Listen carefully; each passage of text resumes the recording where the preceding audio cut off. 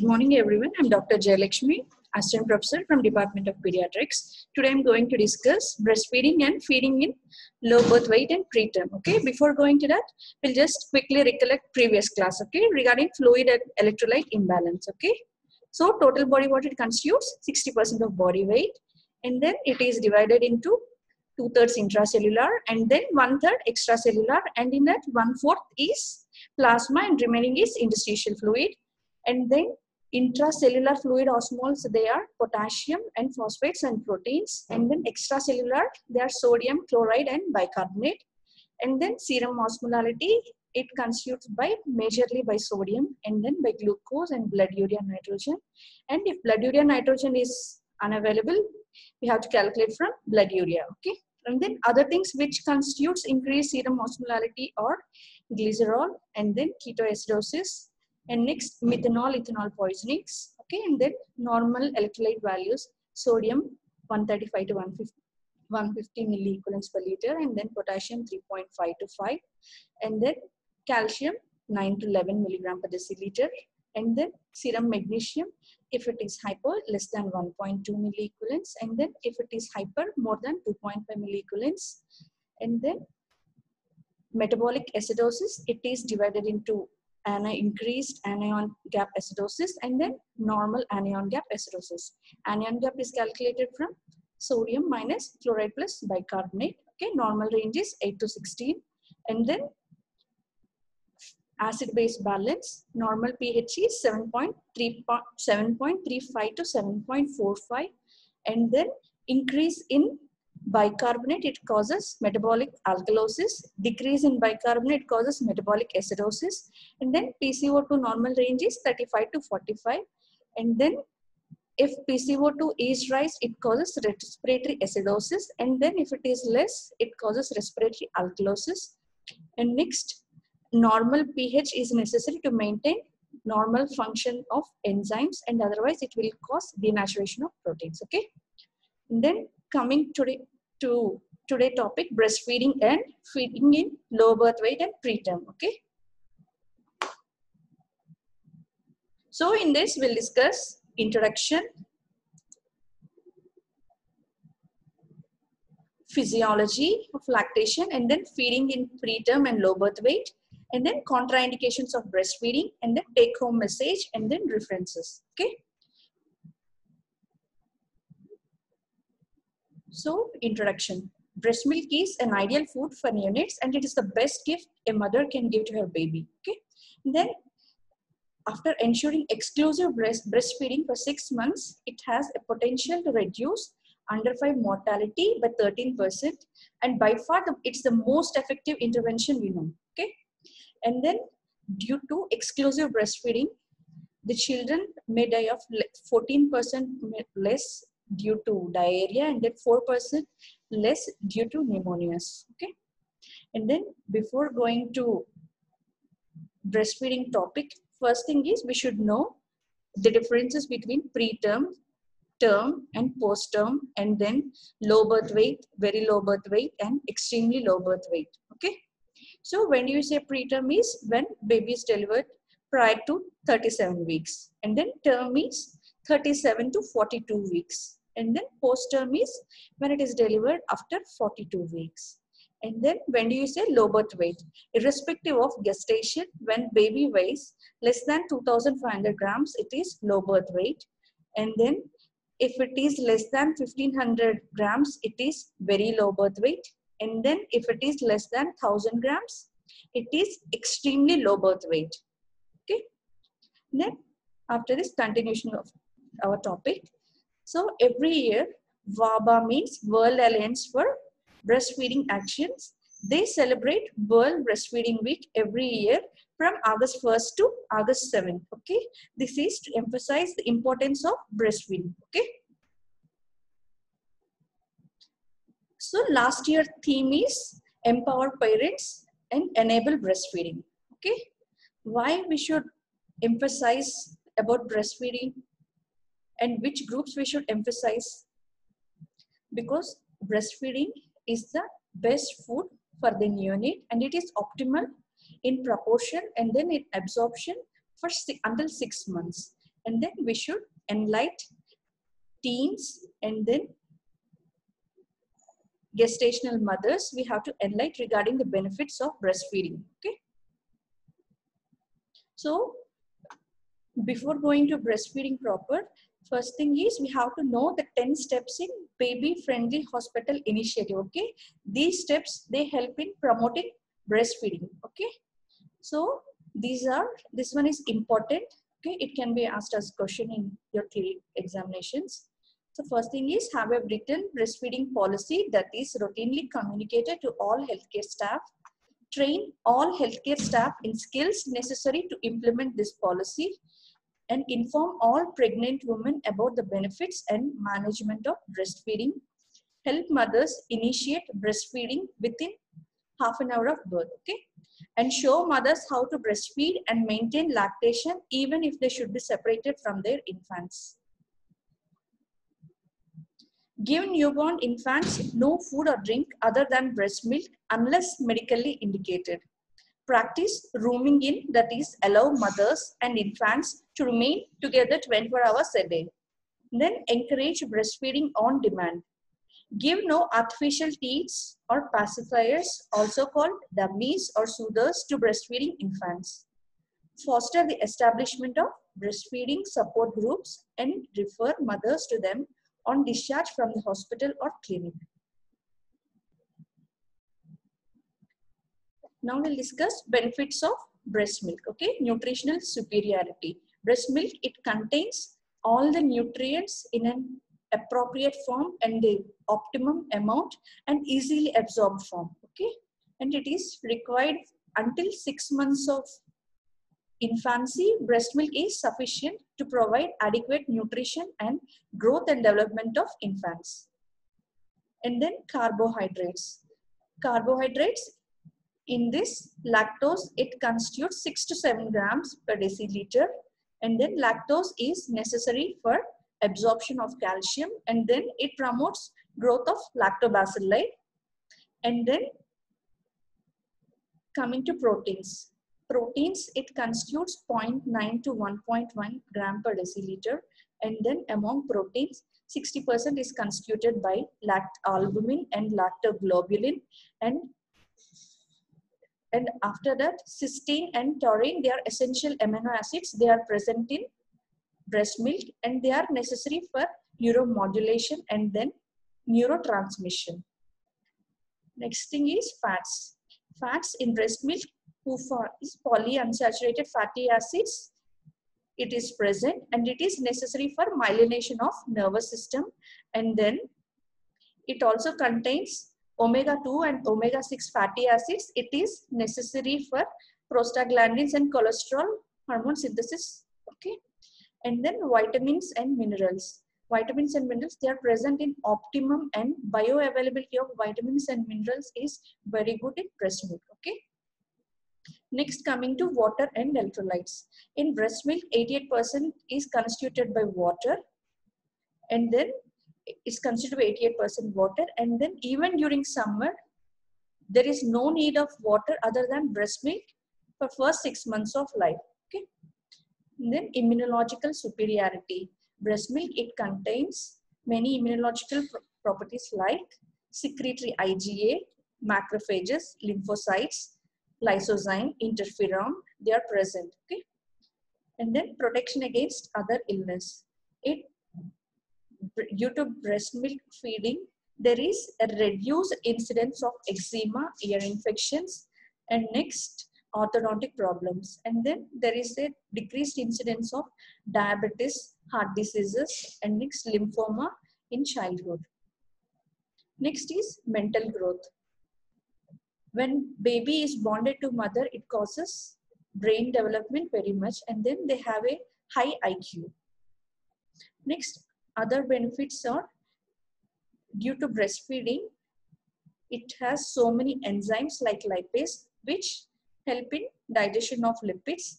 And then it also has growth factors like epidermal growth factor. It causes maturation of intestinal epithelium. As a result it causes less incidence of eczemas and then less incidence of allergies during in childhood okay so other advantages of breastfeeding to mother it is convenient and it is cheaper than artificial milk and it helps in expulsion of placenta and it minimizes risk of postpartum hemorrhage. Then it causes calming effect and contour of body comes back to normal. They shed extra weight which was gained during pregnancy. And most important thing is it reduces the risk of cancer of breast and ovary okay and then advantages to both mother and child are it develop a close loving bond and then it causes child spacing when there is lactational amenorrhea there is no other spacing method is needed okay then cost benefit and then what are the advantages of breastfeeding to the society? There is decreased expenditure on diseases and then unnecessary expenditure on infant formulas is decreased. Now we'll come, we'll discuss regarding breast anatomy. Okay, breast is constituted by most commonly supporting tissue, fat and milk secreting cells. Okay, so in this, it's a cluster of sac-like cells and then it is constituted by alveolar cells. They secrete milk and then it is lined by myoepithelial cells. Okay. It causes contraction of myoepithelial cells. And then milk secreting cells under the influence of prolactin, they secrete milk. Okay. And then this milk is secreted into ducts and then it is dilated to store milk in the form of lactiferous sinuses. Lactiferous sinuses, they are situated underneath the areola and then breast feeding, it should be enclosing nipple and areola, okay? If it is only nipple, expulsion of milk is very less, okay? And then these are Montgomery's glands. They're situated in areola. They secrete a fluid which keeps nipple soft. Okay.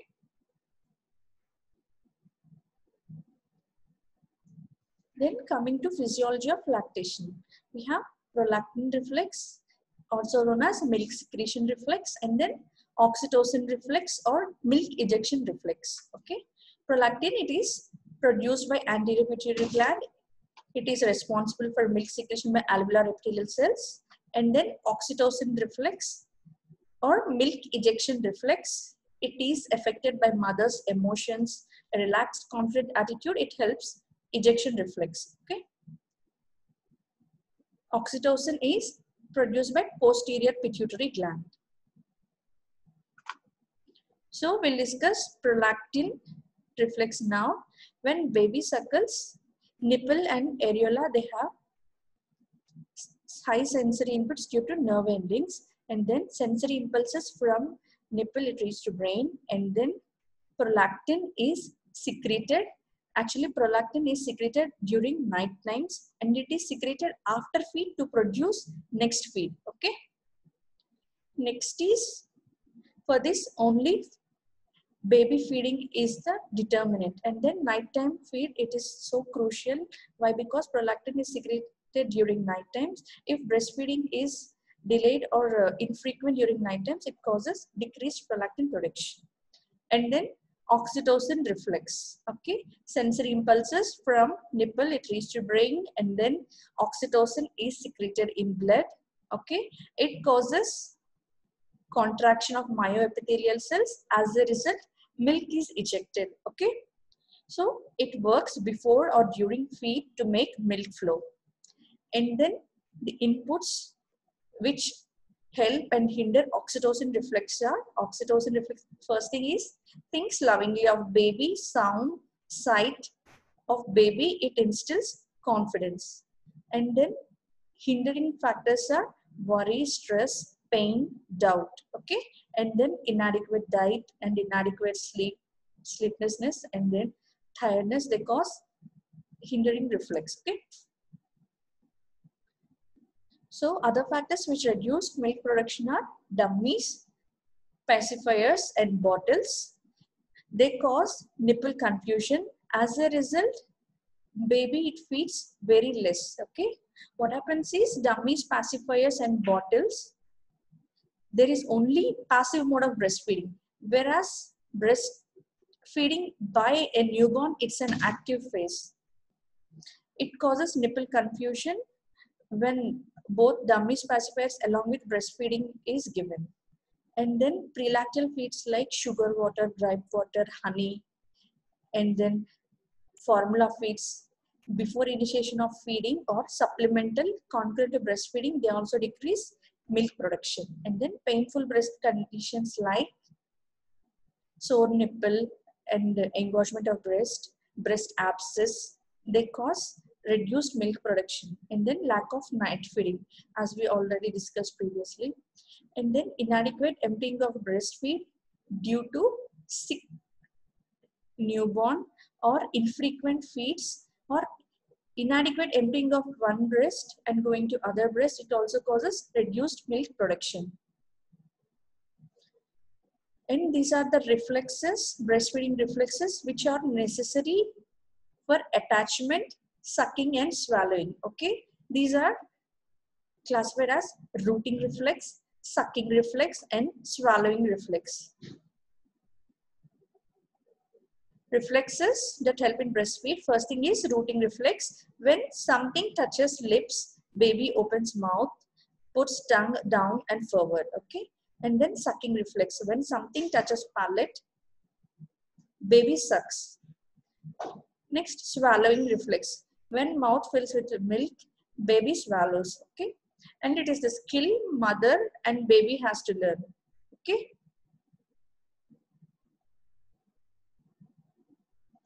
The rooting reflex. Okay, when a finger or object is stimulated over the cheek, it causes opening of mouth and then they search for nipple. Okay, and then rooting reflex is necessary for nipple attachment. Then suckling reflex. In suckling reflex, what happens is when there is stimulation of palate by breast, steps will be taken. So first step is drawing in of nipple and areola forming an elongated teat and then it compresses over the palate by lower jaw and tongue. And then third thing is due to peristaltic movements of tongue, it causes pressure over underlying areola and breast and it causes squeezing or drawing of milk. Okay. In this, there is good attachment. Okay. And in this, there is poor attachment. We'll discuss regarding this afterwards. Okay. And also in this, poor attachment is there.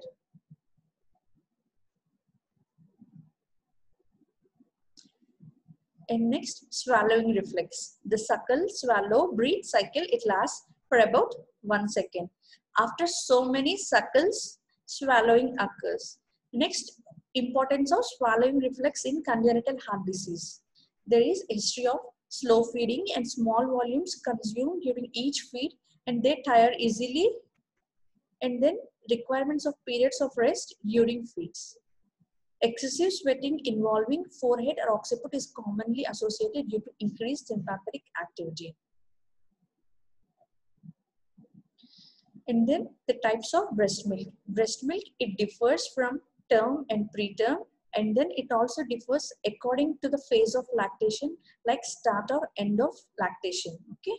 So these are colostrum, transitional milk, mature milk, preterm milk, fore milk and hind milk. Colostrum, it is a milk secreted during first week, initially first two to three days after delivery. It is yellow, thick. It has more antibodies and WBC and then more vitamins A, D, E, K, E, K, and then it is secreted in small quantity and it constitutes high protein. Okay, and it should never be discarded. Coming to transitional milk. Milk is secreted during two weeks after three days. Okay, and it contains immunoglobulin and low protein content, and it has increased fat and sugar content. Mature milk, it follows transitional milk and it is more thinner and watery and it contains all essential nutrients for growth of baby until 6 months. And then preterm milk, it is breast milk of a mother who delivers prematurely before 37 weeks of gestation. It contains high quantity of proteins, sodium, iron and immunoglobulins with low osmolarity to suit the preterm needs. Okay. Next is fore milk and hind milk. Fore milk is secreted during starting phase of feeding and hind milk during end phase of feeding. Okay. So when baby starts feeding, fore milk is secreted. It contains low fat, high lactose and high protein and high water.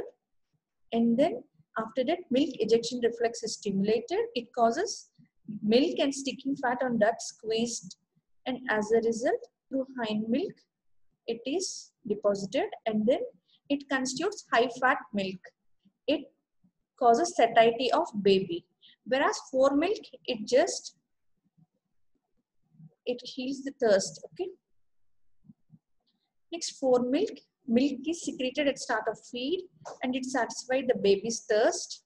Then hind milk, it comes later towards the end of a feed. It is richer in fat content and it is for optimal growth. Baby needs both fore and hind milk and baby should be allowed to empty one breast fully first and then it's moving to other breast. Baby receives only fore milk, they cry excessively because their satiety is not yet fully reached. And then fore milk and hind milk. Fore milk you can see as it is of initial part of feeding, it constitutes thin layer of cream and at the top.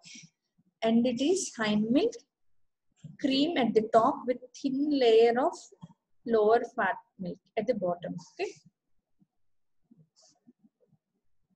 So before breastfeeding, we should prepare mother during prenatal assessment. Okay, we should motivate mother from birth, before birth and select right place for the delivery and avoid unnecessary use of drugs prior to delivery and initiate breastfeeding soon after delivery, give colostrum and avoid prelacteal feeds, help baby suckle in a good position, recommended demand feeding and continue each feed as long as baby wants, do not wash nipple before and after every feed and caution mother in advance about engorgement.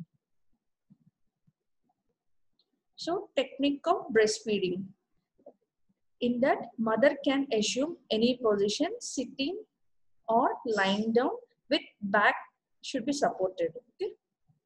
And mother shouldn't lean forwards on the baby.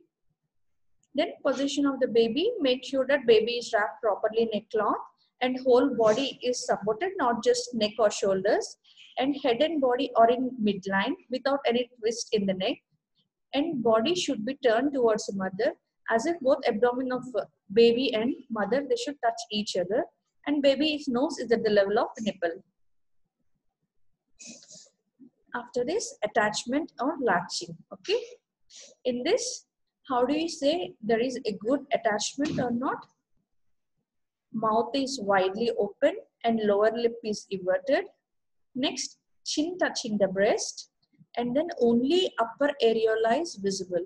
Lower areola is not visible. Okay. And this, is, this one is very important. Okay. Signs of good attachment.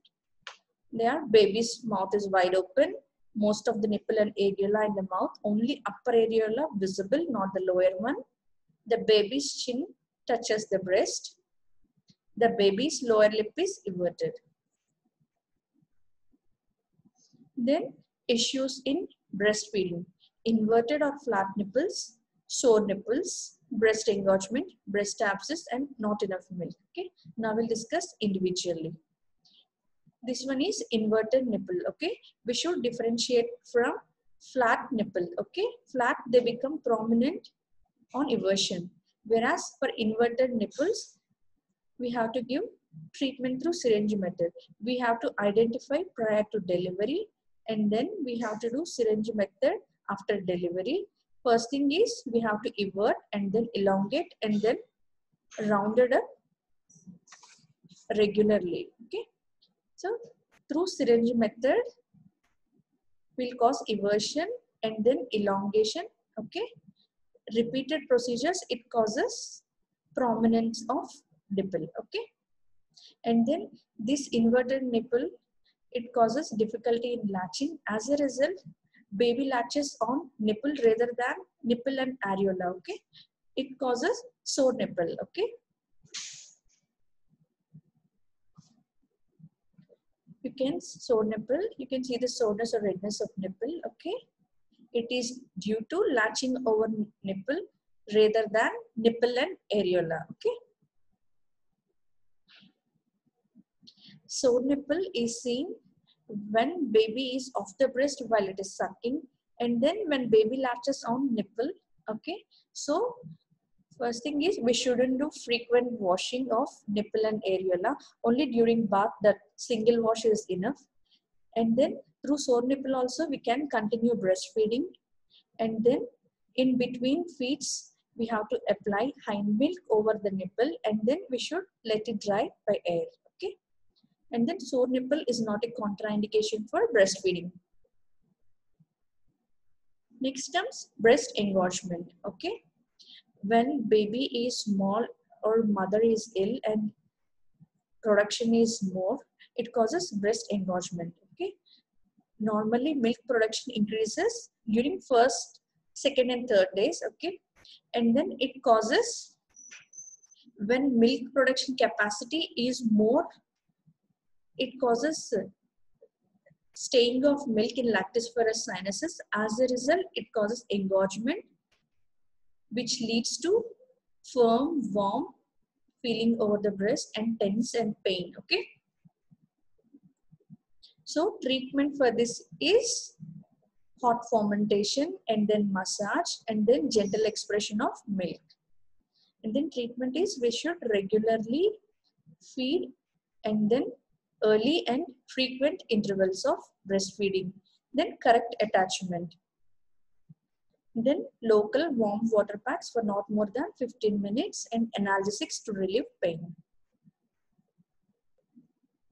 And then breast abscess. Okay.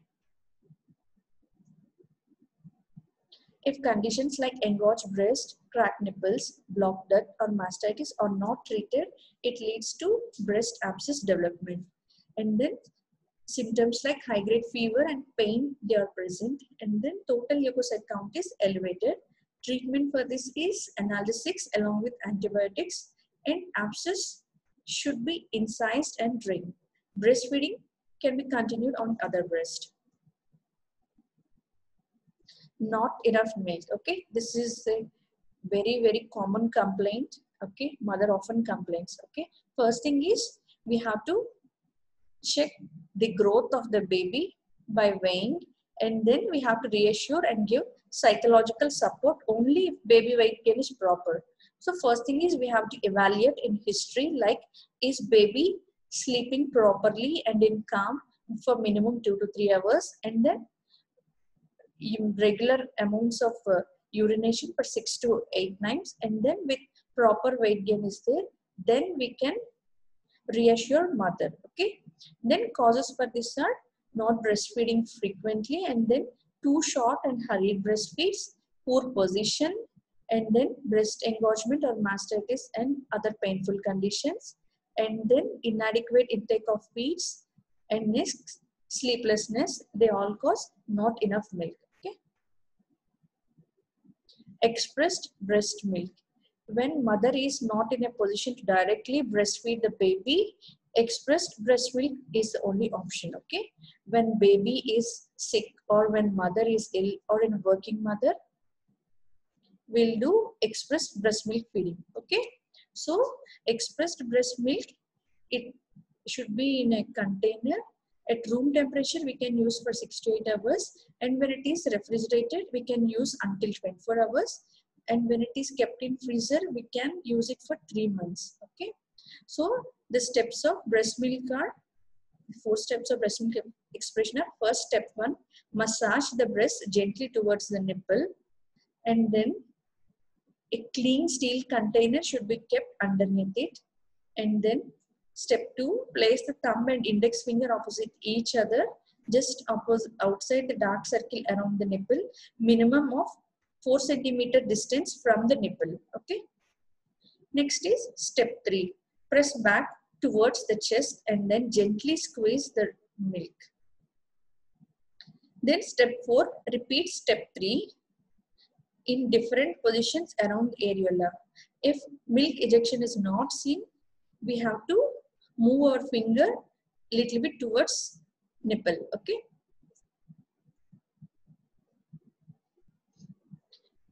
Express breast milk can be done by manual suction pump or electronic suction pumps, okay? And then feeding of low birth weight babies it influences immediate survival as well as subsequent growth and development and long-term neurodevelopmental outcomes of low birth weight infants. Feeding of low birth weight infants, in particular the preterm infants is relatively difficult because of the following limitations. Premature with inadequate feeding skills. Breastfeeding is only seen in term gestations or near term babies, okay? And then Preterms, they are prone to have significant illnesses in the first few weeks of life. It causes postponement of breastfeeding. And then preterms, they have higher fluid requirements in the first few days of life due to increased insensible water loss. Okay. And then preterm infants, they have low body stores of various nutrients at birth. During later trimester only, there is accretion of nutrients and trace elements happens. If delivery occurs before this.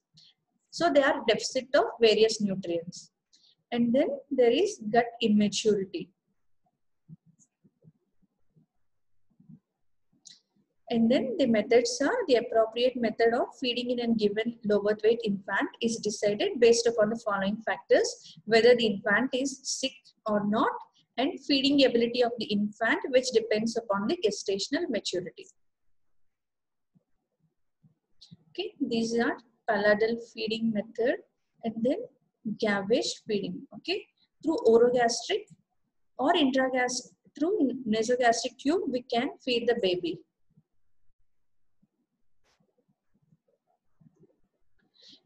So first thing is if newborn is sick we have to see whether it is sick due to respiratory conditions with ventilator dependent and next if it is associated with shock, seizures, hypoglycemia, altered abnormalities, and surgical conditions for neck like that, we have to evaluate. And then if active phase is over and hemodynamically stable, we can start enteral feeds. Okay.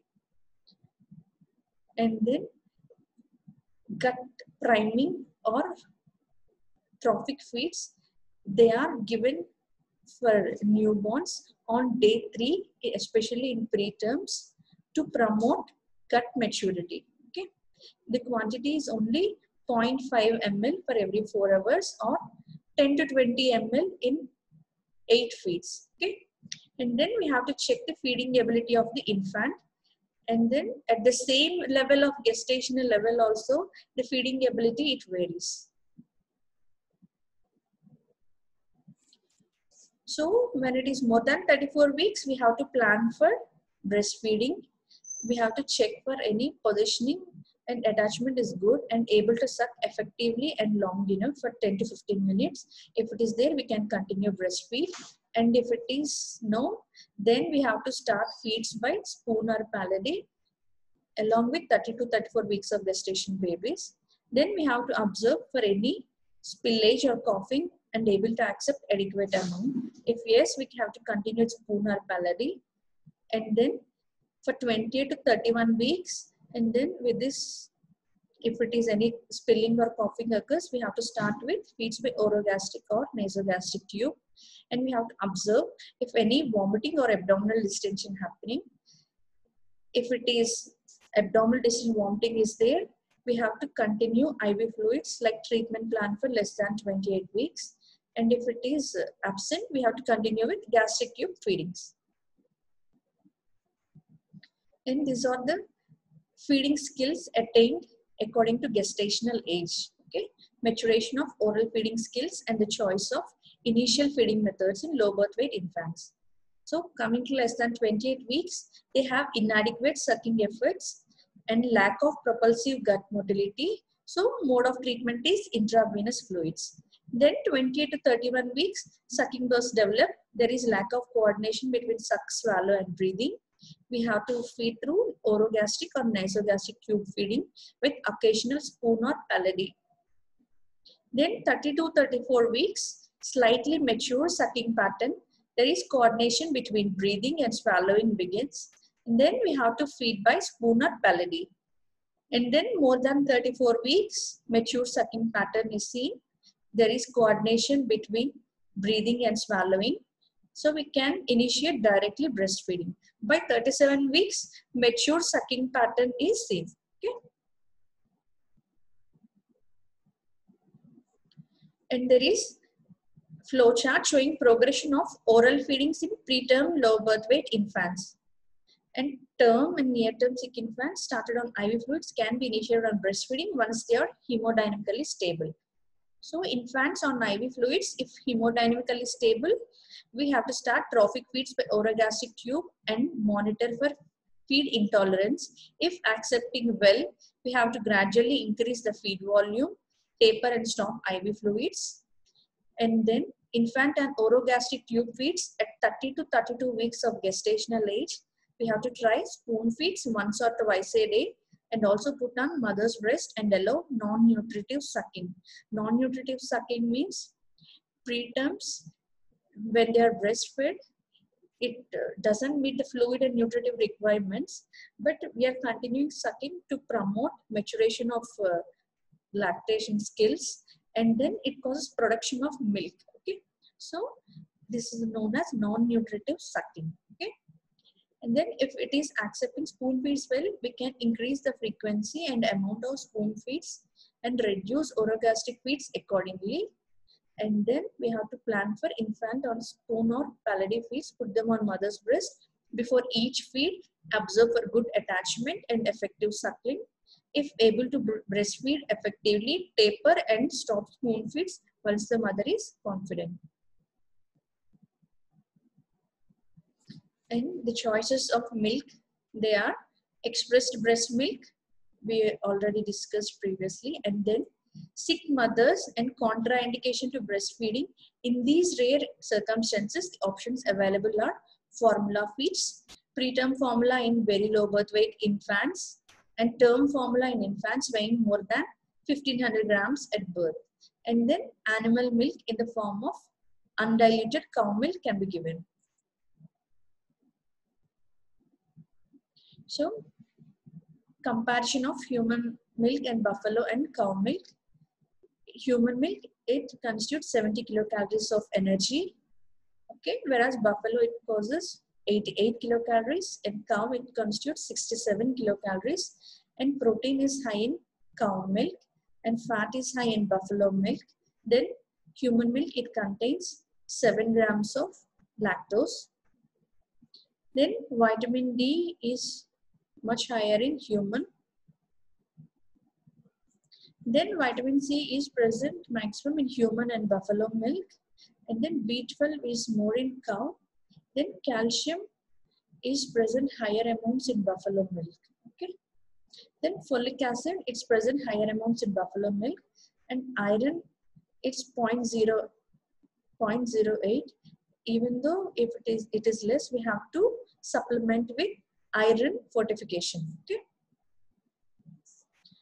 And then water it constitutes 88 to 89 percent in human breast milk. And then cholesterol is maximum in cow milk okay? Next is sodium potassium and phosphorus. They are much higher in cow milk okay? Whereas in human they are less in proportionate to newborn and renal maturity okay and then how much to feed and when to feed okay first thing is we'll deal with infants who are breastfeed we can continue with breastfeeding on demand or in preterm and low birth weight infants we can wait until two to three hours. If they are not waking for two to three hours, we have to give through nipple attachment, okay?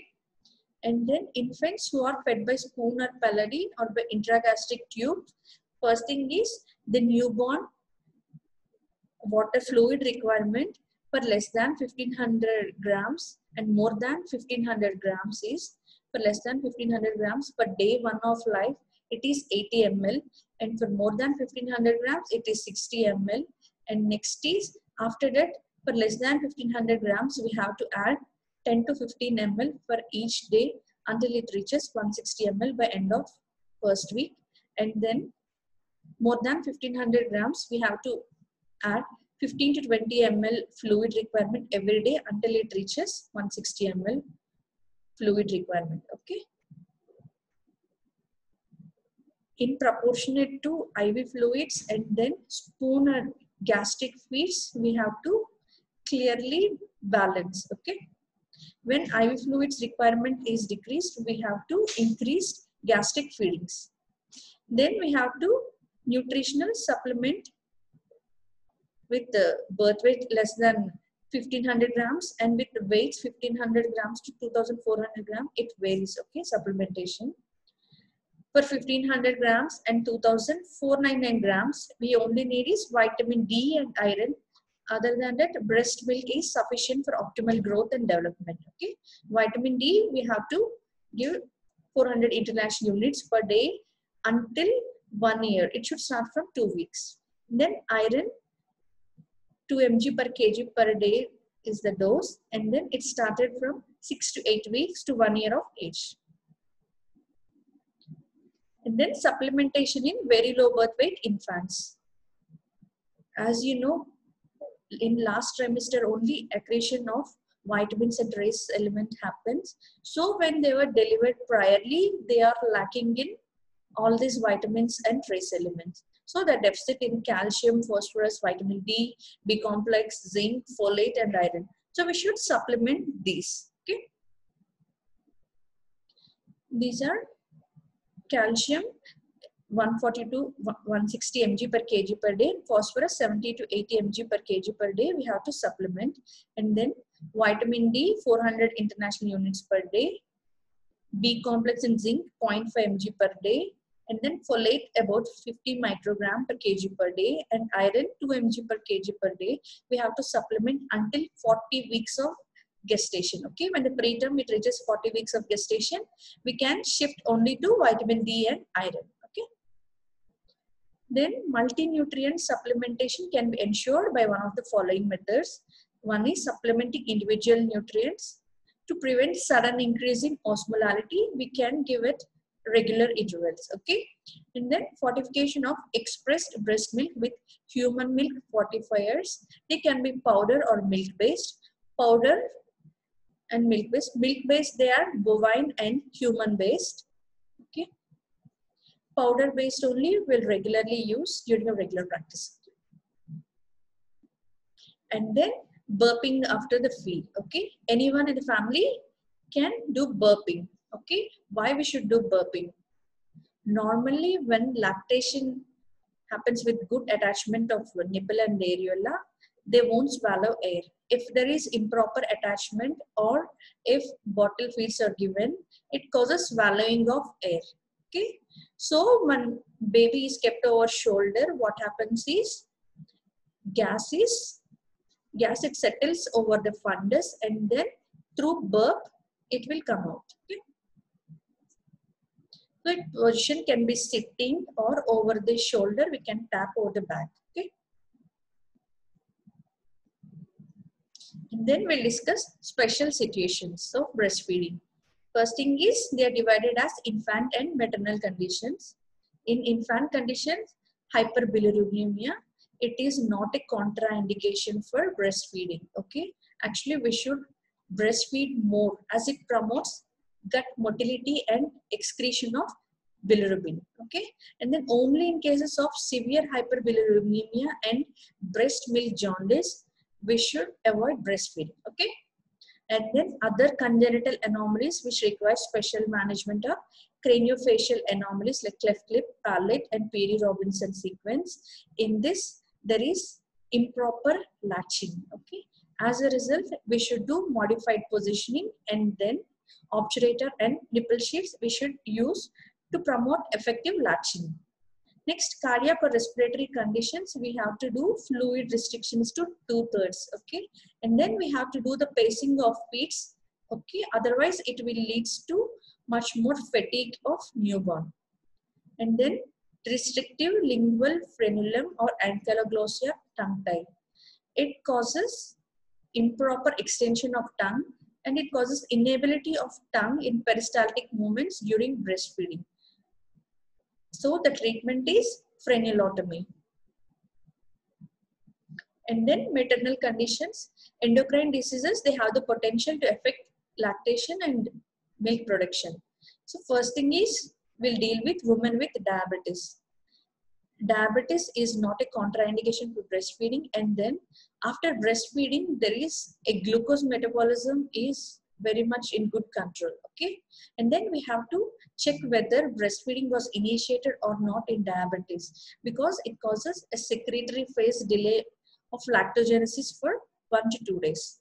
Then we have to check thyroid disease whether they are hypo or hyperthyroidism hypothyroidism it causes poor milk production. And then if hyperthyroidism is there it causes maternal weight loss and then agitations and palpitation.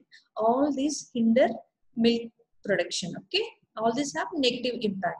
So with proper thyroid control breastfeeding is an easy process okay?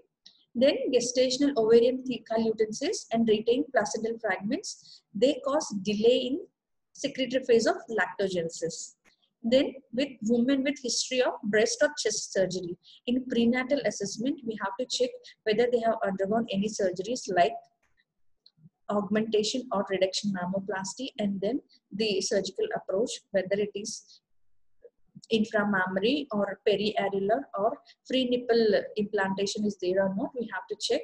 And then these are the conditions, they are not contraindications. And then with proper guidance and they, can they can easily feed the baby. And then coming to contraindications of breastfeeding okay? When we should avoid breastfeeding? When there is congenital lactose intolerance next in phenylketonurias then with infant with galactosemia and then with a mother with active untreated tuberculosis baby should be separated okay? We shouldn't allow rooming in of baby and mother as in normal okay? What happens is unless the mother is negative for tuberculosis we shouldn't allow breastfeeding. And then with women who test positive for hiv they should be discouraged breastfeeding. Why? Because breast in breast milk virus is seen and then it causes transmission of virus and then it depends on the maternal conditions and then CD4 load also they determine the transmission. And then if any conditions like mastitis or sore nipple they further increase the transmission of virus. So we should avoid in these conditions okay? And these are the conditions that are not contraindications to breastfeeding in mothers who are hepatitis B surface antigen positive, we can immunize the baby with hepatitis B vaccine and immunoglobulin at the time of birth and we can continue the breastfeeding. Next is hepatitis C virus. Even though hepatitis C virus is seen in breast milk, but transmission as such is not seen. Okay. Next is cytomegalovirus positive, positive mothers. In this, the benefits of breastfeeding, it outweighs the risk of CMV transmission. And then mothers who are febrile, they are not a contraindication to breastfeeding. And then mothers exposed to low level environmental chemical agents, they are also not a contraindication. Next, tobacco smoking, it should be avoided in mother. If it is, if it is present, we have to avoid at least at home, okay? Next is alcohol use. Alcohol, it is deposited and constituted in breast milk and it should be avoided. It causes short-term milk stopping of milk production and as a result, we should avoid alcohol. small alcohol okay but it causes uh, concentrated in it is much more concentrated in milk so we should avoid for at least two hours okay even though if small alcohol was taken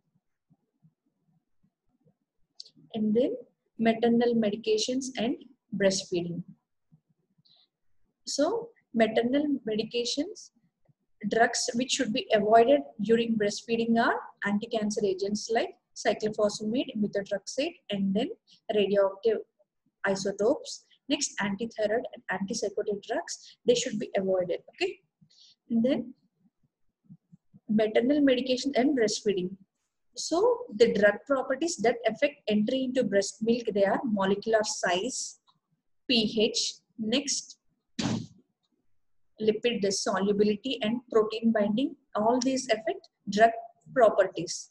Then maternal factors like the dose and the route of administration like, like IV or oral and associated with liver and hepatic impairment is there or not, we have to check.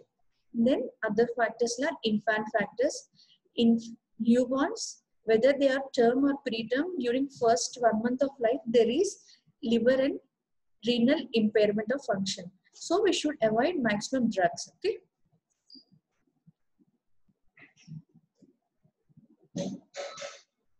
And these are the references, Cloherty's and the essential care of newborn. And then take home messages, breastfeeding is for brain development and next cow's milk is for body development okay? So ideal food for newborns is breastfeed. Thank you. If any doubts are there you can message to dr jaya 3105 at the rate of his email okay? Thank you